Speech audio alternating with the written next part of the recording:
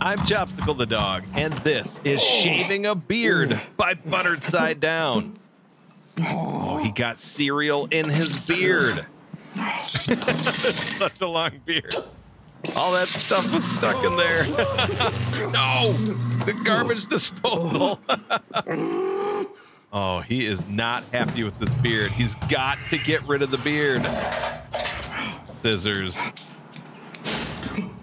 No, it just like sucked him in.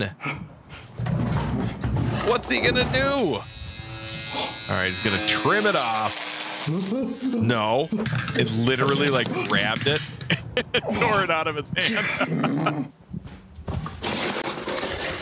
oh.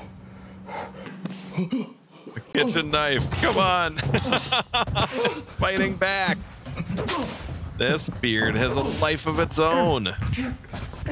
He's punching it, slamming it in the cupboard.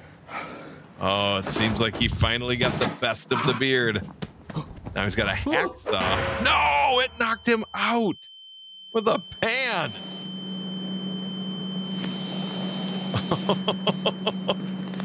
it's pulling over to the knife. No. Scary. oh, it cut itself off. Now it's running away. Now he wants to catch it. Like, why you gotta catch it? Just let it be. Let it live its own life. Can go live with like squirrels and stuff. now he goes online. My beard almost killed me. He's writing a blog about it. All right, I'm going to actually read this. We got to see what he wrote. My beard hair started stealing my silverware and getting in the way. So I decided to cut it off. I wasn't happy about that. So it put up a fight. Oh, no, it wasn't happy about that. So it put up a fight and almost won. I probably shouldn't have drank that hair growth formula the other day, but I was out of soda and really wanted something other than water. Blah. Anyways, the beard got away and I don't know where it went. Hopefully, it doesn't come back.